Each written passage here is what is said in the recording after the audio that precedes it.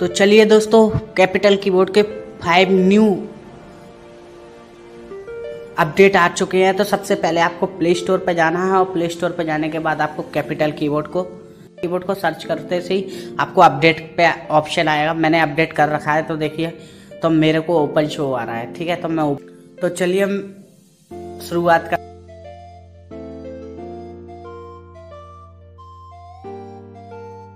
सबसे पहला जो है, इस पे आपको क्लिक कर देना, ठीक है थीम्स पे। आपको जो लोग बोल रहे थे ना कमेंट बॉक्स में कि यार इसमें थीम्स कैसे चेंज करते हैं अच्छा लगे, आप अपने हिसाब से सेट कर सकते हो, ठीक है। उसके अगला जो फ्यूचर है, वो मिलेगा आपको सेटिंग में। आपको देखिए, यहाँ पे मिलेगा, देखिए। सेटिंग में जाना है। ये फ्यूचर क्यों दिया गया है है आपको?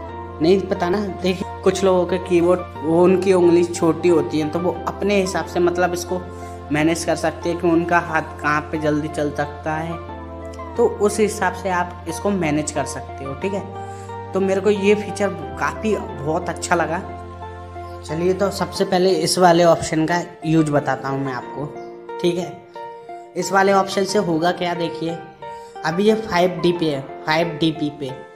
इंक्रीज करोगे ना तो देखिए, ठीक है फिफ्टी डी पी मैंने कर दिया इसको। अब इसको करने से होगा क्या, देखिए? ये जो एरिया है, देखिए, ये जो एरिया है, ये इसको, इसका मार्जिन ऊपर नीचे की ओर स्पेस दे दिया।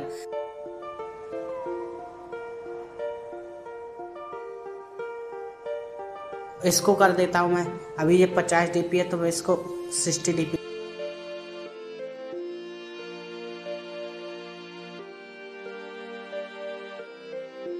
इसको आप बढ़ाओगे तो देखिए क्या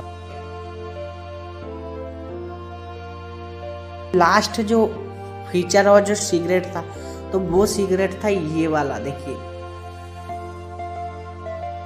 पहले कभी फाइट की होगी तो उसमें देखिए, ये इमोजी नहीं हो रहे थे, ऊपर से शो तो एक भाई का कमेंट आया था मेरे पास कुछ दिन